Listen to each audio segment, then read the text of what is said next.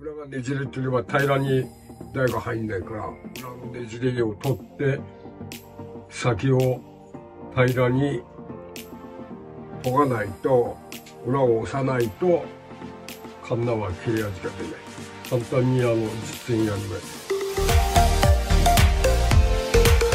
これは木が高い。ねじれてるのを、ここまで平らにしたわけだよね。